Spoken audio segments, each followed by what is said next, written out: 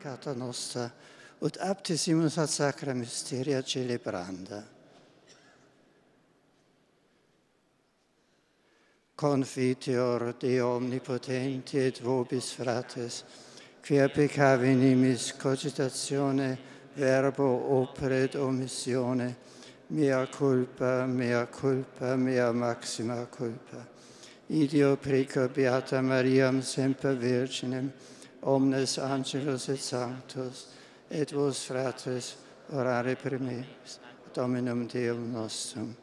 Miseriato nostri omnipotens Deus, et dimissis peccatis nostris, perducat nos ad vitam aeternam.